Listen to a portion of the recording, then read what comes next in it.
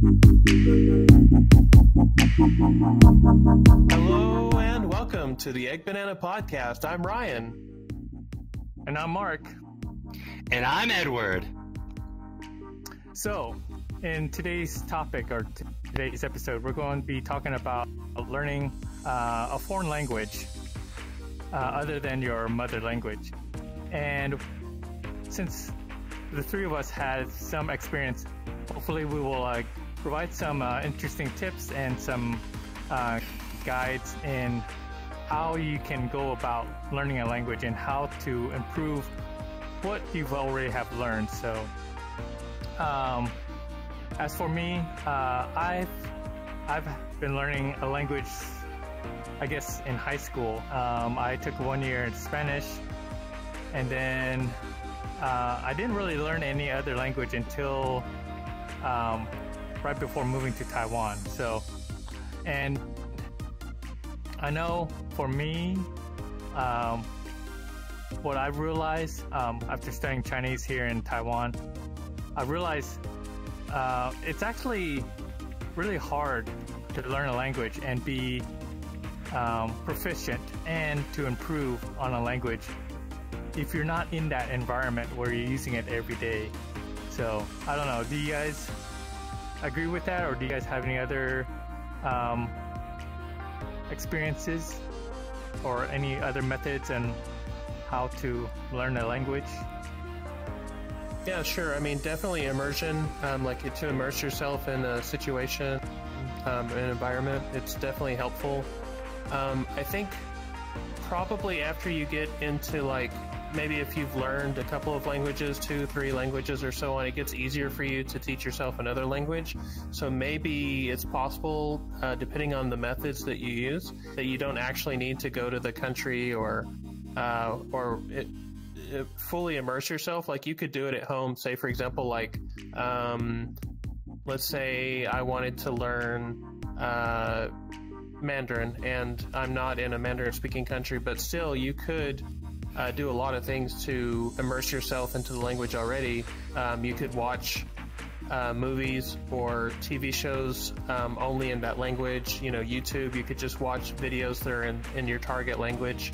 Uh, music as well, just listen to music in, the, in your target language and so on. Of course, these things are not necessarily for beginners, but it starts to help your ear I think, a bit. You get more familiar with uh, all you hear around you all day long is is that tar- uh, is your target language.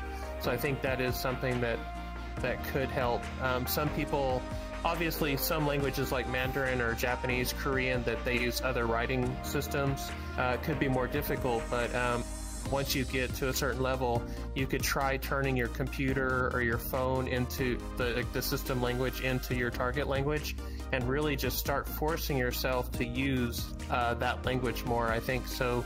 In that case, you might not need to immerse yourself as much, but um, definitely that is a faster way for a lot of people. Um, and yeah, I mean, it, you know me, I've, I've uh, I really love languages. Obviously, I'm language lover. My my uh, uh, handle here, and I've lived in seven countries, including my my home country, and I've you know I've studied several languages in each each country. So I do think it definitely helped uh, living there. Uh, but after, like I said, after a while, once I got more experience with learning a foreign language, I started to to learn how to teach myself even even if I was by myself and didn't really have any other native speakers to speak with. Yeah.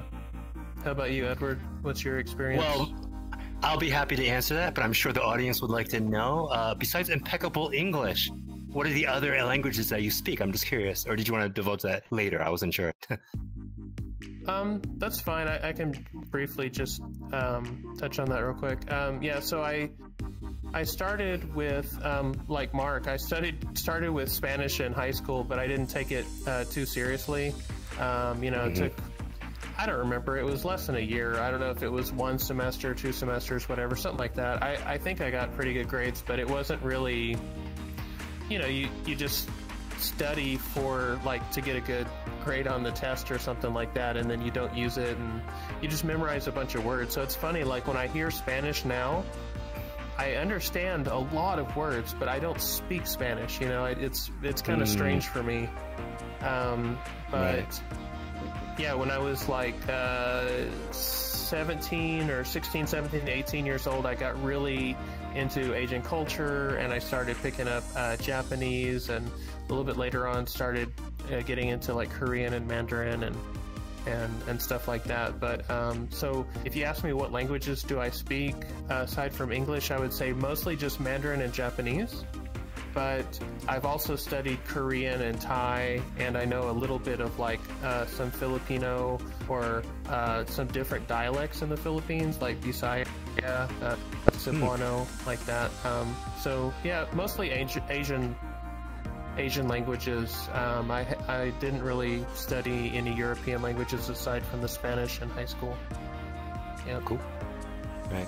Um, uh, well, basically, since you know Mark is over here listing his stats, I guess I should do the same thing. Basically, um, where I grew up in Connecticut, Connecticut they give you like uh, for elementary school, first grade to sixth grade.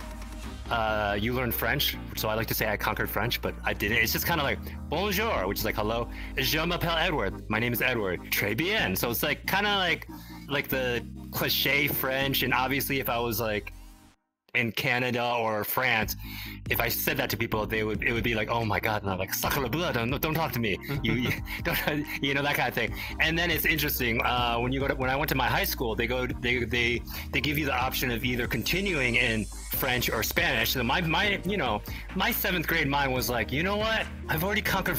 French. Let's go with the Espanol. So then it's, it's the same thing. So it's like, hola, ¿cómo estás? So it's like, hi, how are you? Mi nombre es Eduardo.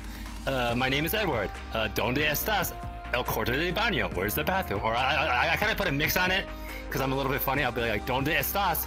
Las chicas muy caliente. Where are the spicy chicks or where are the hot chicks? And then um, uh, my parents, I don't know if you could tell, but my family is actually Taiwanese. And so growing up, going back to what Mark said, the easiest time to probably learn a language is when you're, you know, a baby to whatever age, you know, adolescence. But for me, growing up, uh, because I live in a predominantly Caucasian um, area and go to school with like just Caucasian people, I would go to school all day from like I don't know, nine to three, go home, and then just speak English all day. And then when I went home, my parents would speak Mandarin to me or Chinese, and then they would also send me to like Chinese school every Sunday. And then I don't know what it is. Like I think it's like at that time, it's kind of like the kids I I would teach sometimes in Taiwan. I didn't want to learn it. I would just be like, oh, I'm a, I'm American. Why do I have to you know learn this crazy, you know, hieroglyphic language or Egyptian language? So I kind of like fought it a little bit, which, you know, if I had a time machine, you know, or if I could tell, say anything to the younger audience out here or anybody in the audience, if you have the opportunity to learn a language, take it because at the end of the day, it'll help you in the future, occupation wise, um, you know, personal life if you want to live somewhere else. But going back to what um, Mark was saying, I do think the easiest time to pick up a, a new language or to uh, do language acquisition is when you're younger, and then obviously like uh, if you're in a situation where it, it's it's demanded, like you know, if all of a sudden they threw me and Mark in France and they were like, you get no food every day unless you could speak French. I think our French would improve uh, quicker than if it's we we're trying to learn France French in like Taiwan or America. And then just to kind of put like a you know a ribbon on it.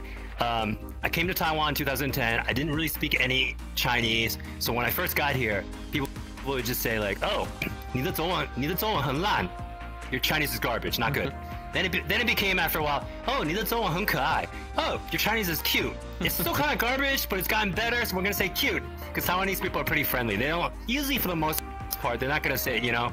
And then it got to the point where it's like, oh, 你的中文不错 It's like, oh, it's not bad. It- so I'm still waiting where it goes- gets to like, oh, 你是一个 uh, Jiangzong the Tiansai, which means like, oh, you can speak uh, Chinese like a genius. And then this is kind of a different thing, but I thought because I thought about it, I've kind of like, uh, you know, moaned to Ryan and Mark about it. I don't know if Mark has the same thing. It's kind of like Taiwan is a great country, very friendly, but there's one thing that kind of like I think it's funny. I don't know if it triggers me, but I don't know why. It's like, in my opinion, or just my experience with other people, if you're non-Asian and you show interest in the language. I don't know if Ryan had this experience. They'll be like, "Oh, 你的中文很好. Your Chinese is awesome. 你是哪里人？你是高雄人吗? Uh, where are you from? Are you from Kaohsiung? But when I speak Chinese, I get, I always get the like, "Ugh, 你是哪里人? Like, where are you from? Uh, 香港人吗? Hong Kong, 韩国人吗? Korea. And I'm always like, so I got to the point where I like, because I have a funny attitude, I'll be like, 对对对，我是一个 韩国明星怎么样? It's like I'm a Korean celebrity. Like what of it, you know? So I don't know if Mark or Ryan, if you have that experience when you speak Chinese, like what your feedback is. You know? Mark? Hmm. Well, uh, my parents aren't Taiwanese, and I wasn't kind of grew up in that kind of environment, so I can't compare with that. So, uh, sorry, I don't have anything for you. Okay, Ryan. Well, well, let me ask you. Well, let me ask you this: When you're in Taiwan and when you when you speak Chinese, are people kind of like, "Oh, wait, you're Asian, so it should be better," or they don't say anything, or are they kind of like blasé? I'm just curious. Before I go to Ryan, I'm just curious about that. um. Well, usually in uh, the countryside, um, if I say like, "Oh, sorry, my uh, 不好意思，我的中文不太好，是 then they will kind of have a confused face, like, "Oh, you're Asian. Uh, why can't you Yes. speak Chinese?" So Yes. I mean, uh, like it doesn't trigger me too too much. I mean, I mean, you you've got Asian people from Japan, Korea, like they probably have the same reaction for any of those, like Okay. so, but of course, Yeah. I don't know. Some Taiwanese they can, I don't know. Somehow they can tell like if you're maybe from Korea or from Japan or somehow. So, but I've Hmm. I've had Taiwanese say, "Oh, are you Japanese? Are you Korean?" So, Mm. um, yeah. yeah. Ra- Go Ryan. Yeah, I was just gonna say to add to what Mark uh, was saying. Like one time, Mark and I we were out, and uh, the guy s- said something to Mark. Maybe something about like getting some food or something, uh, and uh, you know, Mark didn't really reply, but it didn't mean that he didn't understand necessarily. It was just like he didn't necessarily feel like talking to the guy trying to sell him something. And uh, so the guy assumed maybe that Mark didn't understand him, so then he thought he should maybe speak Korean or Japanese.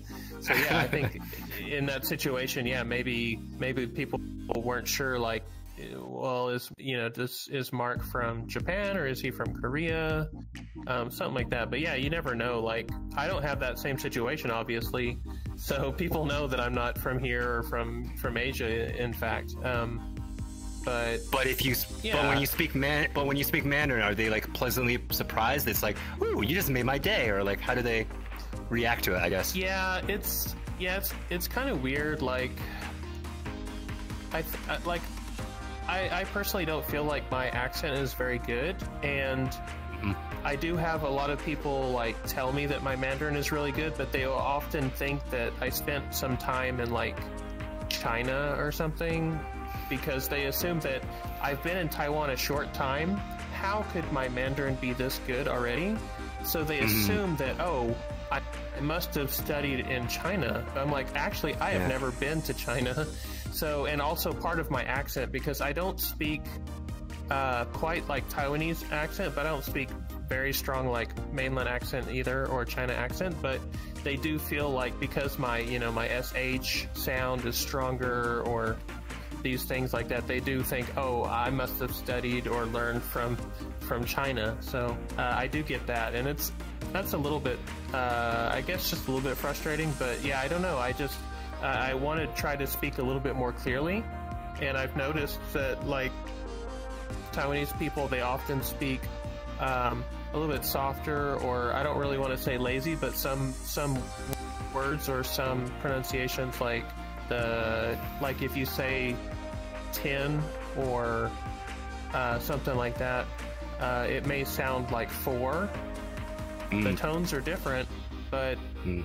You know, and just like speaking just naturally, just like out like or casually on the streets or whatever. I have heard people get confused. I remember uh, I was getting in the elevator and I asked somebody what floor, and um, they said, "S." I was like, okay. So I pushed four, and Yeah. but they wanted to they wanted to go to ten, you know, Yeah. and obviously probably maybe if I could hear tones better, maybe I would have known that it that they said ten, but I mean it really didn't sound anything at all like ten. It sounded exactly like four, so that's the difference, you know, like su and shi, like it's th- that sort of thing, I guess. And in in China, it's obviously very very like different. You know, they they pronounce ten like sure, like very very Yeah. very strong uh, sh sound, right? So I guess I kind of I'm somewhere in between. You know, like not too weak but not too strong. Uh, so that's why they assumed that. Yeah. But I guess for me, the ha- biggest- Yeah. I was just going to say that for me, the biggest problem, and I think I mentioned it a little bit before. Um, sometimes I will get into the situation where uh, I am approaching somebody or I'm going to say something, and they assume that I'm going to speak English. You know, Mm. so like if my pronunciation is not good enough, they're going to assume that I'm speaking English. You know, so that's why I have to be very, very clear and very careful with what I say um, in order for that to not happen. But even in Japan or wherever I was, like people see me, they're like, okay, white guy, he he's not from here. Uh, and they're scared. They're like, they don't speak English or whatever, and they're like, and then, you know, so they just assume right away. away. They're like, yeah. yeah. Uh, they think, okay, there's no way in the world that he's speaking Mandarin or Japanese or whatever, so they're just like, they're listening for English. And I've had several times where I felt like I was speaking super, super clear in, you know, Japanese or Mandarin, and then they were just like, they just couldn't comprehend what I was saying because it's not English. You know, they really hmm. thought I was going to speak English, and they didn't have an open mind that I was actually hmm. speaking, you know, Mandarin. But I, I do get that all the time. Like if I go to order a drink or I order some food or I'm reading the menu or something, they're always like, "Here you go. Here's the English menu." I'm like, "No, no, no, thanks. I can I can read. You know, I can read." And they're hmm. like, whenever I go to the drink shop and I I'm about to open my mouth and tell them what drink I want, I can see how relieved they are when I speak Mandarin. They're like so relieved. They're so scared. Like, oh no, he's gonna Right. he's gonna say something and I won't understand what he says. But yeah, so th- these are the kinds of things that I experience. I guess. Yeah. Right. I, I was gonna say two. I was gonna say two things. Uh, number one is it's I kind of I kind of agree with your assessment. It's kind of like like woo, I, I see a Caucasian person. I want to practice my English, and it's a weird kind of like I don't want to say conflict. It's like I, I know a lot of besides you, uh, there's a lot of like foreigners. They they they they're living in Taiwan because they want to practice their Mandarin. But then sometimes in Taiwan, a lot of Taiwanese people maybe they they're not like afforded the opportunity or they don't have the chance to. So when they bump into you, they're like, "Ooh, this is like a golden. This is my like Charlie in the Chocolate Factory ticket. I want to speak English." So it's kind of interesting that dichotomy that you're talking about. And then number two, I gotta I got a plus one cosign on you. Uh, for my Chinese, since I've been here for such a long time, I, I would say it's at a conversational state. But my accent is all over the place. Like they're like, like people are always a weird, uh, very interested because, oh, why don't you adopt a Taiwanese accent? I was like, first of all, like, I don't want to do that, and a, that's kind of like weird. That'd be like, you know, it's a little bit like weird for me to try to do it, you know. And then B, I, that's the that's the issue I have. Four and ten. So usually what I do, because sometimes it's just like I'm like, okay, okay. 我要十个呃七八九十 seven eight nine or or like I want 四个一二三四 one two three four just because sometimes I, I have that mess up all the time because you're right because it's it's what 一二三四 and then ten is what 七八九十 right it's something like very Yeah. affected correct so it's like sometimes you when you're like in a rush you just don't do that so um but uh going back to the topic I would say I've been here I I, you know I'm sure we'll hear from these guys uh when you first come here for me the part that improves the most is because you're living in a country where the predominant or official language is Mandarin. My Chinese kind of uh, improved incrementally, but it definitely improved over time. When I first, uh, growing up, oh, so going back to what I was talking about, growing up, uh, my parents would always speak Chinese to me. So actually, my listening comprehension, kind of like what you were saying about your Spanish, the listening comprehension is really good. But then just being able to speak, it was kind of like maybe when I first got here, it was a little bit like, oh, I don't know what to say, or I'm gonna embarrass myself, that kind of thing. I always recommend people all who are who because uh, a lot of people in Taiwan want to learn English. Same thing.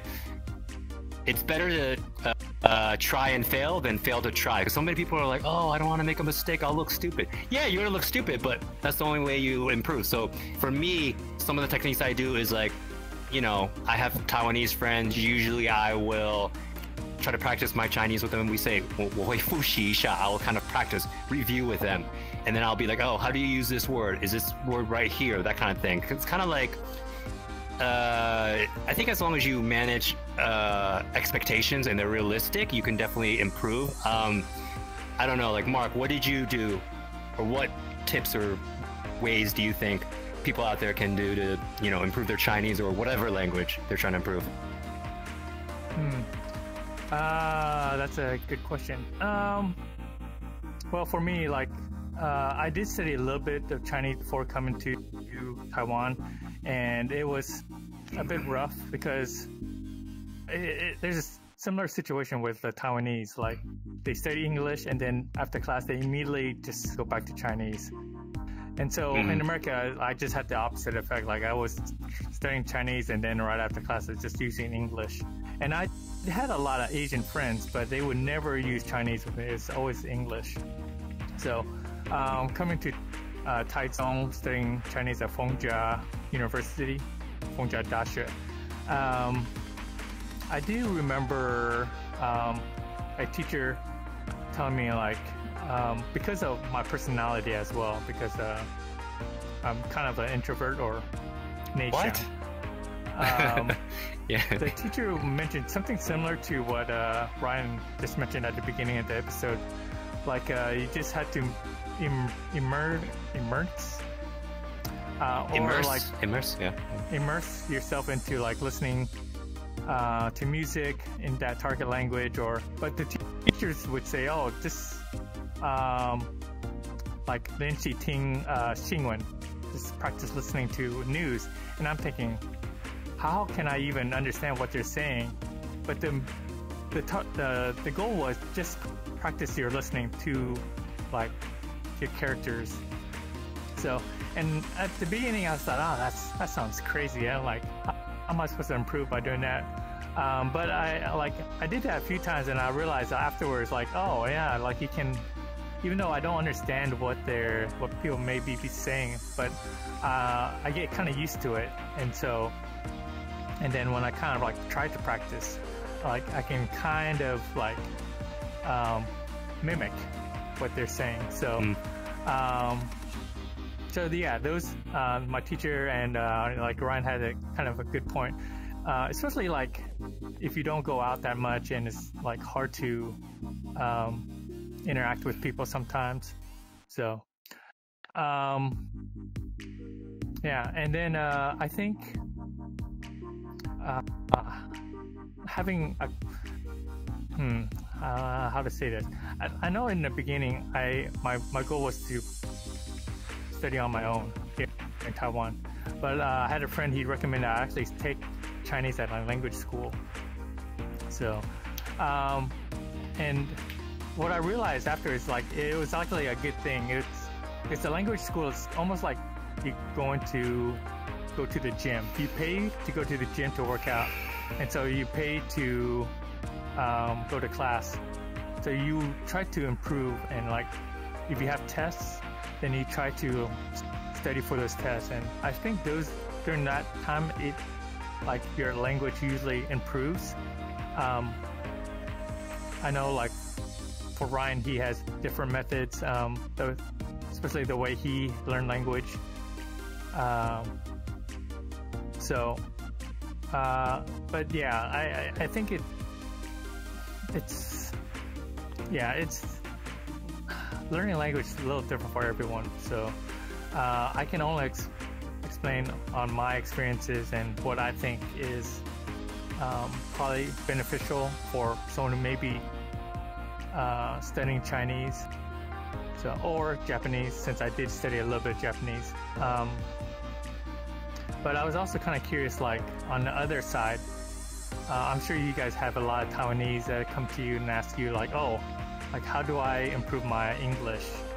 Like, uh, I've had a lot of students ask me like, oh, I want to be a native speaker, but I usually tell them like, um, in America, there's actually a lot of different Americans. They all have different accents and different levels. Like, you can't always like when you say native speakers, like it can be a big range of things. So, and I think Edward, you mentioned something pretty important where you mentioned uh, students shouldn't be afraid to make mistakes. Usually, I say that to my students as well. Like, if you make mistakes, that, that's usually when you learn. So, and I think for Japanese, I think they are so afraid of making these, these mistakes, they don't even try um, speaking. So I don't know if you've ever had that experience, Ryan, since you've been there longer than I have in Japan. So yeah, definitely. Um, yeah, I, I, guess for me though too, it's like uh, I think I often uh, how to say that. It's also something that I have a problem with as well. Um, I kind of take a different approach when learning a, a foreign language. I, I feel like, yeah, everybody always says just like start speaking and it's okay if you make mistakes you learn along the way but i have like a, a little bit of a different thought. I mean i'm not telling people that they shouldn't try that because i do think that is a good method or a good way for a lot of people but some people it might not work and and kind of here's why. I think um, if you take a baby for example babies uh, spend the first several months or even years sometimes just listening right? They listen to all the things around them. They familiarize the, themselves with all of the sounds, and they look at everybody's lips and and how they move, and they pick up all these vocabulary words, and then just one day. They're just so ready, and they're like, okay, now I am going to start talking. And, you know, the baby just sat back and observed and just listened and then they took in all this information and then now they're ready and they're like already going to pronounce everything just you know uh, pretty much like perfect or you know they may have to practice it a little bit you know when they start speaking for the first time but they're they are native speakers right? And so that's kind of the approach that I tried is I I spent a lot of time just listening and learning observing not speaking because a lot of people what they do is they I, I personally think and I know a lot of people disagree with this but I, I think that people speak before they're ready they speak mm. before they learn the sounds and what mm. happens whenever you do that is you often teach yourself the wrong thing or the wrong pronunciation so and a lot of other people don't uh, realize how important it, might be to correct you because also there's a thought that people think, oh, just let them speak. You know, if you correct them too much, then they make they might get discouraged or something like that. But um, obviously, everybody's different. Like some people want to be uh, told when they're they've made a mistake, or or that maybe they're like, I don't care about pronunciation. You know, pronunciation is not important. But for me, it's, it's mm. pretty important. Um, so I think like if you just start speaking like day one, you know, you're like, okay, I'm going to learn Arabic, right? And they're like, okay. And then you just take out a book and you just like start trying to say the phrases and stuff. Most likely your pronunciation is going to be horrible. Um, and then once you get this stuck in your head, it's really hard to change the way you pronounce these words. And then you've, this is what happened to Japanese people, uh, at least maybe not, maybe the younger generation is a little bit different, but older generation, they learned English using katakana, which is one of their alphabets that they use to write foreign words. So like that's where you hear these words like teburu is table, like uh, t-shirt is t-shatsu, shatsu like shirt. Um, all these English words that were like imported into Japanese, they were still pronounced with uh, like katakana sound. So mm. Japanese people thought, okay, this is how you say gurasu, gurasu, teburu, uh, you know, chair, you know, chair, chair. They thought this is the way you pronounce it. So they got in this habit of saying it and they don't know the real sound and they don't have any practice with the real sound, so that's just how they continue to say it. And, and whenever they go to speak to a native speaker, uh, the native speaker doesn't understand what is chair, chair, right? And Mm. whenever the native speaker says chair, chair, Japanese person doesn't know what is chair because they Mm. only know what is chair, right? Mm, So if you just start speaking day one or, or the first week or the first month or even the first year, I think that you could get into these bad habits. Now I know that Mm. I would say that not everybody should follow what I'm what I'm saying, but I think it's a good idea to really make yourself uh, or to familiarize yourself with the sounds of the language first.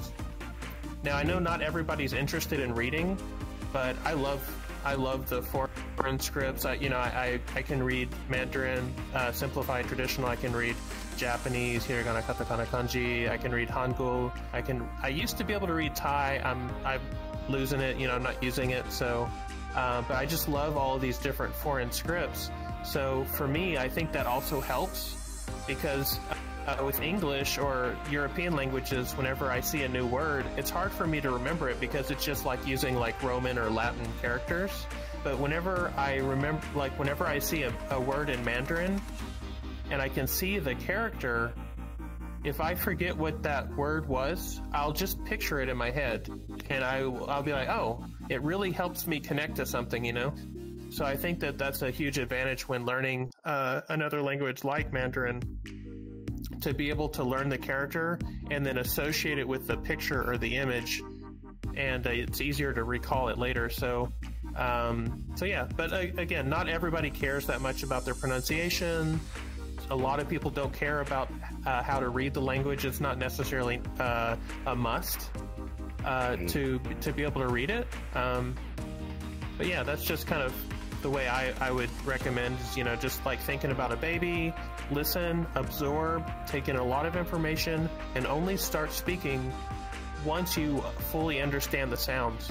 And I say grammar does not matter whatsoever.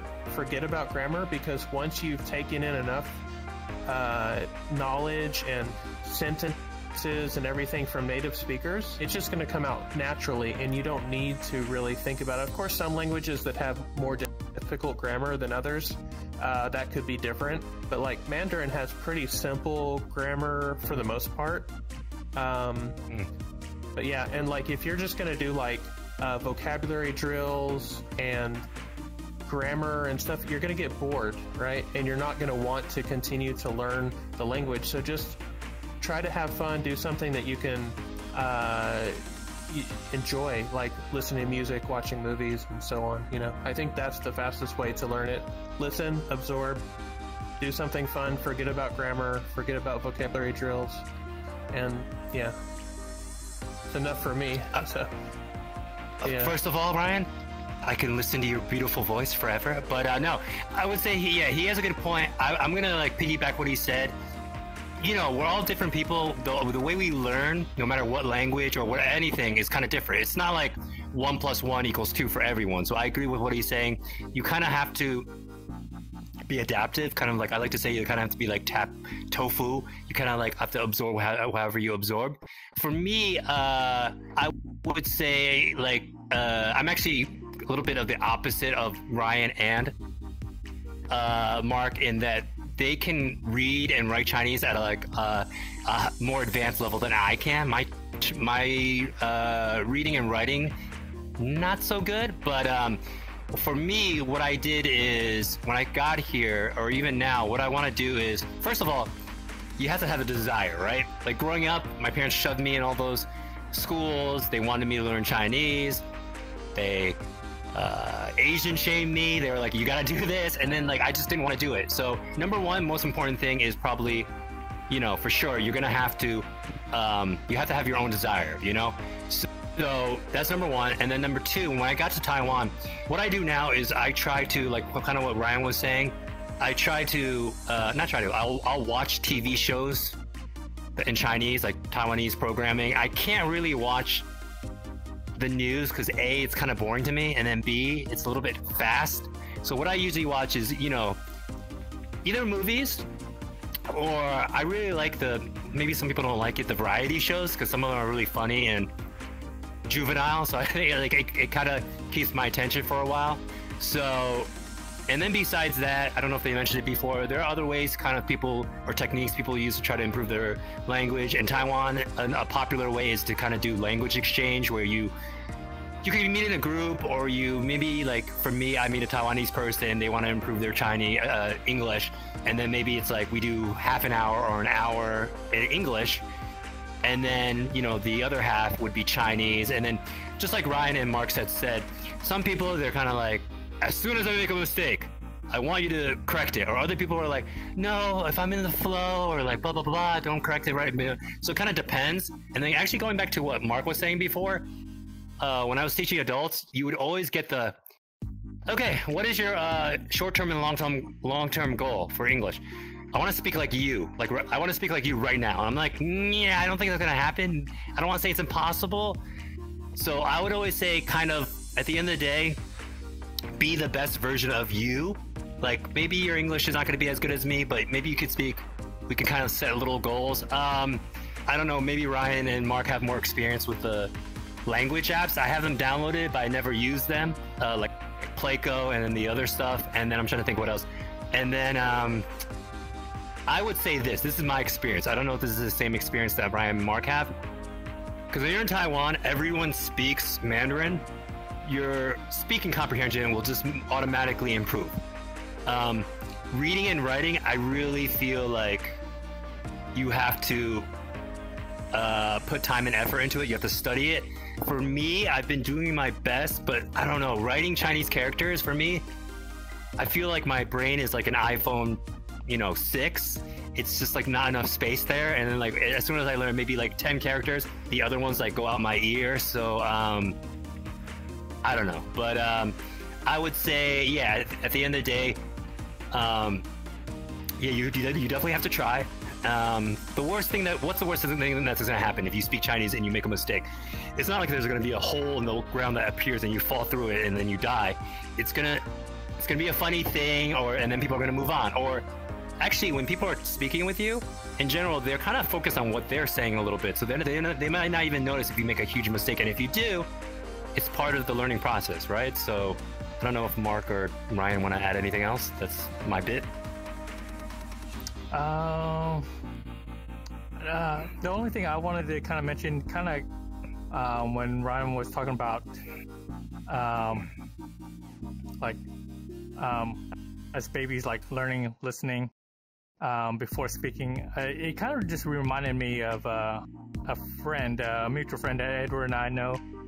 Um, and she's from actually from Cambodia, and uh, and she actually married a Taiwanese guy here in Taiwan, and she knew she didn't know any Chinese, um, and her uh, um, her husband's family spoke a lot of Taiwanese, Thai, and and I don't know. It, it, it's it's she has a really interesting story, and when she tells it, but uh, I remember like um, when she was learning Chinese and Taiwanese she said she actually watched a lot of Taiwanese drama TVs.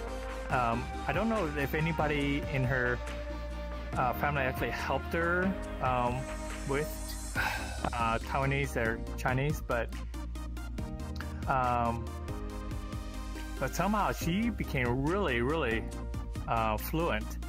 So and and her motivation was was because her family were like always giving her orders to do something, and, and like, and she didn't have a voice to say anything. So she was just like almost kind of like a slave, and and she just wanted to like have her own voice and like have her own opinion about things, and so it's it's pretty pretty amazing story. So um, uh, that's all I had to share. Um, about that part. Did you guys have anything else? I could probably talk all day about about this, yeah, but um, yeah, just uh, keeping it short and relevant. Um, I, I, I was gonna say actually um, one thing. Learning Mandarin in Taiwan can be a little bit difficult, um, as there are a lot of people who will mix in Taiwanese, Mm. um, and that part could be quite confusing for people, especially beginners of Mandarin. Um, to have a have some people throwing in like some Taiwanese words sometimes, especially maybe older generation or people outside of Taipei. Um, and then the other thing, it's getting better now, but like now there's more of like a standard uh, system for how to write Mandarin words, uh, like how to Romanize them, um, using the system from China, Pinyin. Uh, there, there was a system here. I think it was called Wade Giles or something. There's been a lot of different romanization systems and whatnot, but sometimes in Taiwan, you will see in the train station or or an MRT station, you'll see the name, the same name written three different ways, uh, just with a different romanization. So that can be really confusing for a foreigner, especially a beginner, right?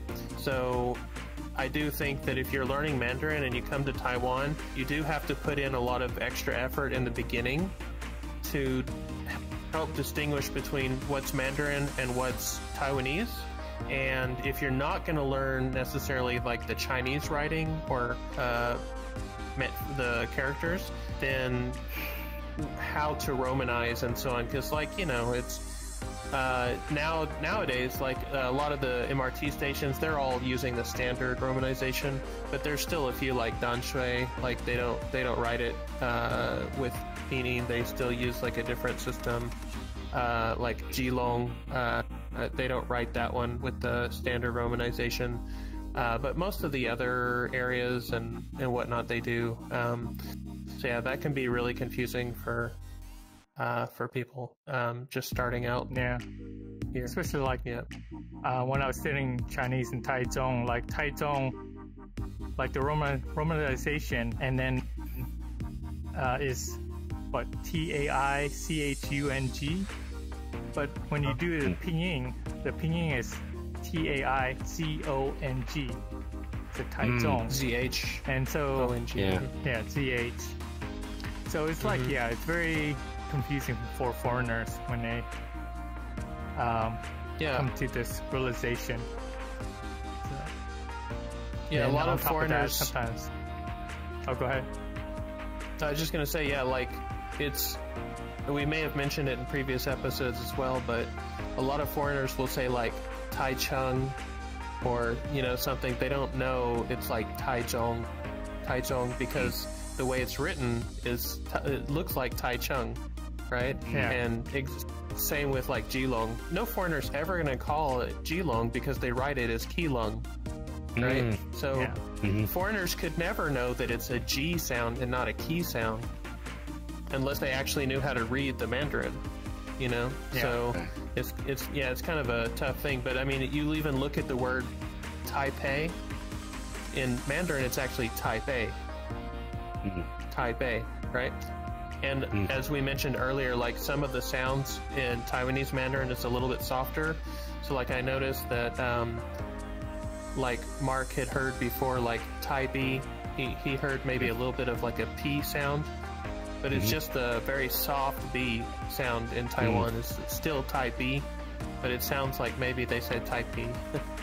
yeah, so um, I don't know.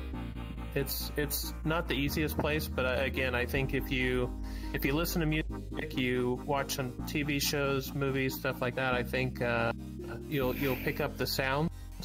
And one thing that you mentioned was the variety shows. I think it's one of the very best ways uh, to learn Mandarin because it it could be funny, it could be interesting. They talk, they cover all different kinds of topics. They usually have multiple people on the show, um, so it's really good in comparison to like a pre-recorded like TV show or movie with lines and everything like that because those are not quite as natural. So if you're watching like a like a variety show where you've got like two or three hosts and some special guest and maybe like a panel of foreigners over here, all everybody speaking Mandarin. I think it's a good time. It's like really funny. It's really interesting, and you can watch a lot of these episodes on like YouTube or uh, whatever. Mm-hmm. So I think that's a really great way to learn. And one trick I was going to say, you said that the news is a little bit too fast. If you watch the news on YouTube, you can mm. slow it down. You could do ah. like uh, 0.75 or 0.5 or whatever speed. Mm. And uh, yeah, maybe that would help too. Mm. I think that's about all I've got. Any any uh, last tips or anything that you guys want to give to the viewer, or anything about Mandarin, or? Um, I think for me, uh, I think the point where I thought that I was kind of improving um, my Mandarin, my Chinese, was actually when I was starting to use my Mandarin to communicate to my classmates. Um, of course, you have some classmates are from Japan, some from Vietnam, from Thailand.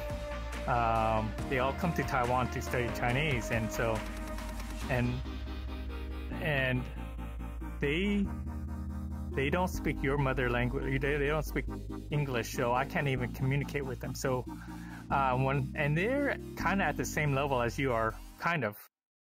Um, so you kind of speak in their same level. And then, of course, you may have some classmates that may have a little bit higher level of Chinese than you.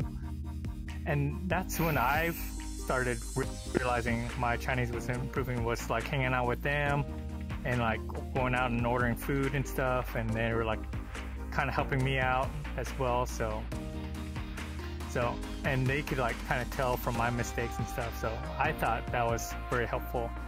Um, and it kind of uh, in, in some way, it was like the same in Japan. Uh, a lot of my classmates were from uh, Indonesia um, or from Vietnam, and they had studied a little bit of Japanese, so they were able to kind of like help me out and stuff. So, and that's so that's kind of like one great thing about studying a language at a language school. Like you have like these people can help you out and stuff. So, for me, that's I feel grateful and I felt improvement from where from my studies. So that's all I have. Cool. Cool.